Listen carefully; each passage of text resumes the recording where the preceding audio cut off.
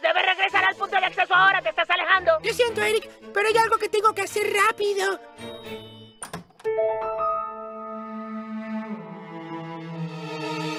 Ahí está el señor. ¿Qué piensas que estás haciendo? Hola, papá. Soy Butters. Ya lo sé. ¿Qué estás? Esto es por las veces que me castigaste. Sentí sus testículos en mi puño. ¿Te gustó eso, papá? ¿Por qué, Butters? Dios mío. Eso fue increíble. Butters, regresa al punto de acceso, ¿sí? Es increíble.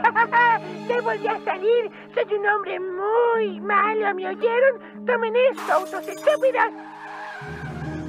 ¿Qué demonios haces, niño? Butters, debes detenerte. Ven a mi casa.